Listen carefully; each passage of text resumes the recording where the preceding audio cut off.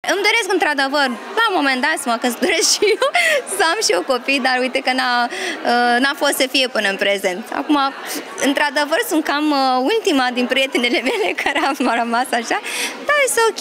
Fiecare... Multă baftă, că ce e al tău e pus deoparte, știi vorba aia. Pentru toată lumea, așa este, da. Uh, agenda e făcută pentru sărbători cu concertele?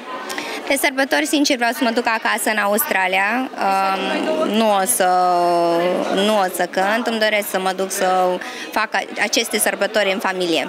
Adică și Crăciunul și Revelionul? Da. Va fi primul an în care nu vei fi pe scenă? Uh, nu este primul an, dar uh, ar fi una dintre ani în care nu sunt pe scenă.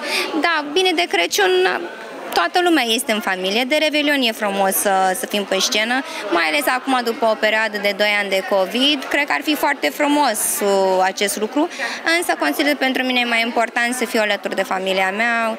Uh, cred că ne-am dat seama cu toții că, uite, viața e foarte scurtă, uh, se poate întâmpla multe lucruri. Eu nu am văzut pe ai mei de atâta timp și oarecum vreau acum să mă bucur și să de mai mult timp împreună cu ei și din cauza asta au și venit și ei în Canada și în LA. A fost ceva foarte frumos.